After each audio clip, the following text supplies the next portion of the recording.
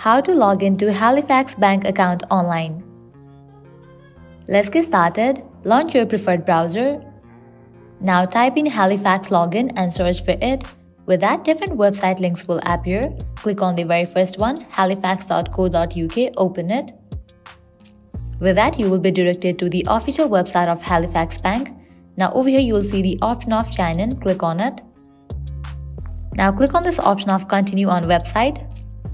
With that, you land to the login page. Now you have to fill this. Firstly, type in your username and then type in your password.